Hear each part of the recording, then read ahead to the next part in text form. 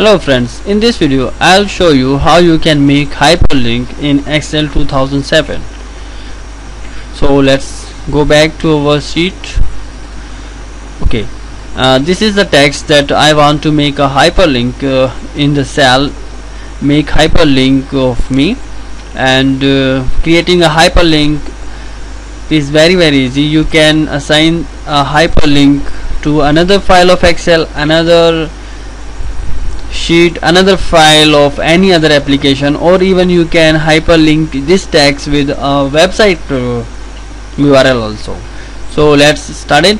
Once there are two methods that you can follow. You can just select the cell where you need to make the hyperlink and right click and select hyperlink here or either you can go to insert and select this uh, icon global icon uh, to create hyperlink.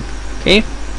We are doing this and here you can see that I can choose any kind of uh, file that I want. You can also choose recent files that you already opened in Excel previously or you can also select browse pages or the current folders files that you want.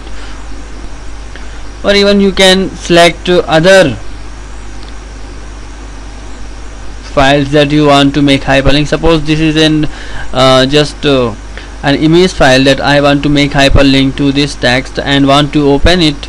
Now it's hyperlinked and when I open it it will when you click it it will open that file that I hyperlinked okay?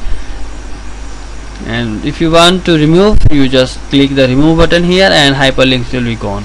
Again let me revise your hyperlink and you can select any file you have created or you can also select uh, another excel sheet. And you also if you want to insert a website url you can just put that url here. Suppose I am going to type uh, google.com to make a hyperlink on our excel sheet and press ok. Now this will take you to google okay this way you can create hyperlinks in your excel sheet. This is really very very handy if you want to open various file within the excel sheet. I hope you like this video. Thank you